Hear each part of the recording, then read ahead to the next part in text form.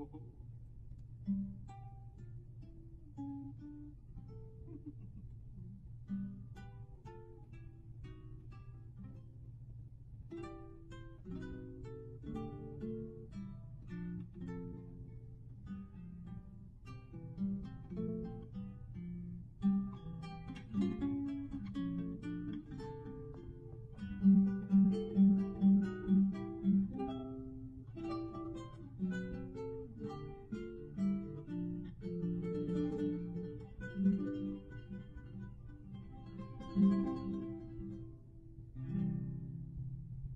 Hey everyone, Tyler can sing and cheer and dance productions here.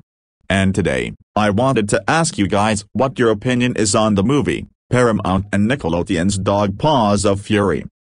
In my opinion, I like this movie because the two characters named Hank Dog and Sensei Jimbo went on an awesome adventure to save the village Kakamucho from Pikachu's evil plans. Thanks for listening to my opinion on the movie,